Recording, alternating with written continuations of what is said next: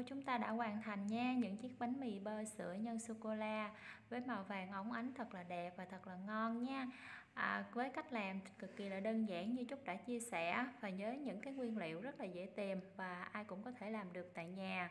À, Cả nhà có thể à, vào bếp và thay đổi cái à, bữa ăn sáng của mình Với những à, chiếc bánh mì như thế này để thay đổi khẩu vị cho cả gia đình à, những chiếc bánh mì bơ sữa nhân sô cô la kết hợp với một ly cà phê hoặc là một ly sữa tươi sẽ giúp cho chúng ta có thật nhiều năng lượng để um, làm việc một cách hiệu quả và tốt nhất nha. À, bây giờ thì à, mời mọi người cùng thưởng thức với mình nha. Hello cả nhà nhé, hôm nay thì mình sẽ làm bánh mì bơ sữa và nhân sô cô la. Thì nguyên liệu của chúng ta hôm nay sẽ gồm có là 250g bột mì. Ở đây mình sử dụng là bột mì à, đa dụng hoặc là bột mì à, qua ngọc lan đều được bột mì số 11 cũng được. Ở đây thì mình sẽ sử dụng à, 250g bột mì qua ngọc lan. Ở đây là mình sử dụng 3g men. Ở đây là 3g muối và 20g đường cát ở đây là 20g bơ 110g à, sữa tươi. Và ở đây là một ít cái phần sô cô la nguyên chất sô cô la hạt. Thì à, bây giờ thì mình sẽ bắt đầu để mình à, trộn cái bột nha. Thì mình sẽ cho vào cái máy à, nhồi bột của mình để mình nhồi bột lại nha. Bây giờ thì mình cho vào cái à, cái cái khay nhồi bột của mình.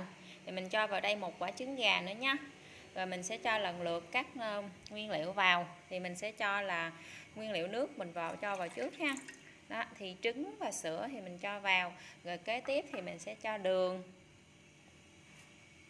Rồi mình sẽ cho muối. Rồi, rồi kế tiếp thì mình sẽ cho bột vào. Và sau cùng thì mình sẽ cho cái phần men này mình nhét ở phần trên ha để cho nó tránh tiếp xúc với cái phần ờ, nước là từ sữa và muối ha. Mình sẽ không cho muối với men ở gần nhau nhé rồi à, mình nhò một chút thì mình mới cho bơ vào.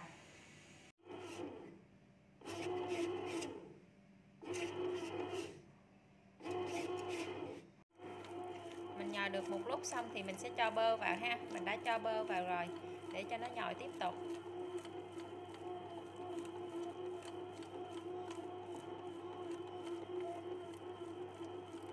Bây giờ thì mình sẽ cho vào sau khi mình nhồi bột xong thì mình sẽ cho vào trong một cái cái um, cái, cái mâm hoặc là một cái khay như thế này. Rồi mình sẽ um, cho một cái lớp dầu ở dưới cái mâm á để nó chống dính. Rồi mình sẽ um, đậy cái cái màng bọc thực phẩm lại để mình ủ. Và thời gian ủ bánh của mình ủ bột của mình là một tiếng đồng hồ ha.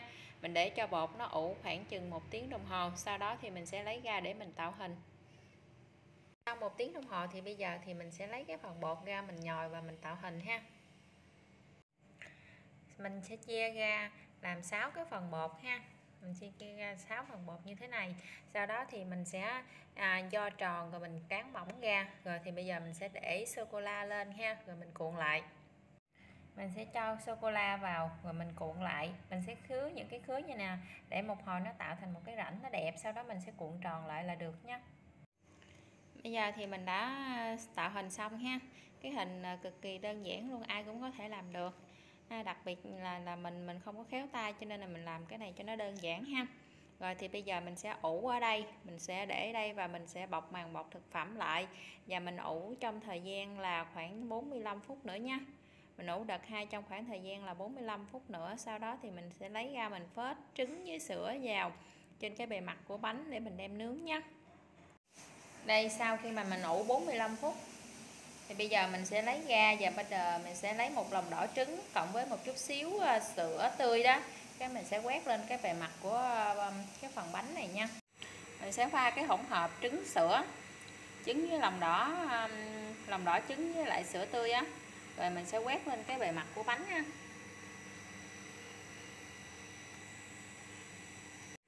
sau khi mình quét xong á, thì bây giờ mình sẽ cho vào lò nướng và mình nướng ha. Mình sẽ nướng ở nhiệt độ là 170 độ C và thời gian nướng của mình là 30 phút nhé.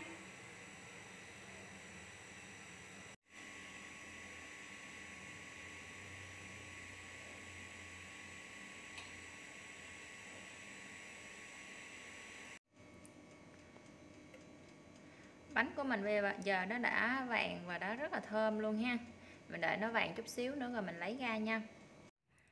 Và bây giờ là thành phẩm của chúng ta đã hoàn thành nha. Những chiếc bánh mì bơ sữa nhân sô cô la à, vàng óng ánh thật là ngon và hấp dẫn.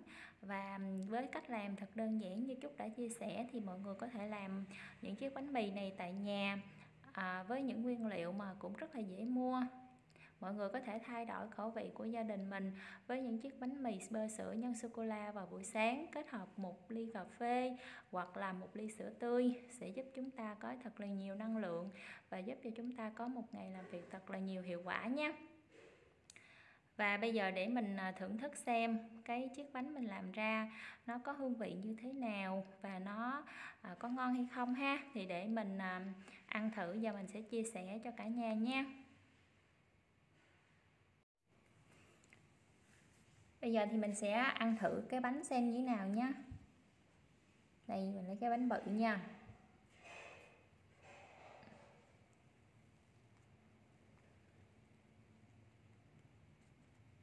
Bánh rất là dai nha.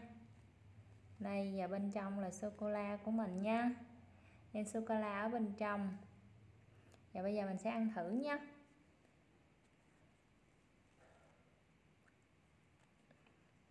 Bánh rất là giòn ở cái vỏ ngoài á cực kỳ giòn.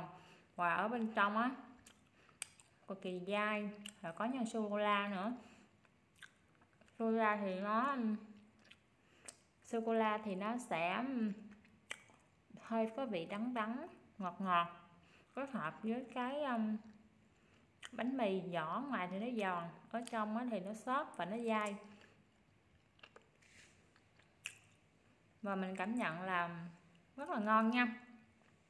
Mọi người có thể làm thử cái bánh này nha. Để à, cả nhà mình cùng thưởng thức vào buổi sáng. Mình um, tin rằng mọi người sẽ rất là thích cái món bánh mì này luôn và bây giờ cảm ơn cả nhà rất là nhiều đã chịu khó theo dõi cái video clip của Trúc nhé. Hẹn gặp lại cả nhà trong một cái video clip gần nhất. Cảm ơn cả nhà rất là nhiều. Và nếu như yêu thích kênh của Trúc thì mọi người hãy đăng ký nhấn chuông để có thể cập nhật thêm nhiều video nữa nhé. Và bây giờ Trúc xin phép xin chào và hẹn gặp lại cả nhà trong một cái video clip khác. Chúc cả nhà một ngày thật là nhiều niềm vui, nhiều uh, sức khỏe, bình an và hạnh phúc bên gia đình nhé. Xin chào và hẹn gặp lại.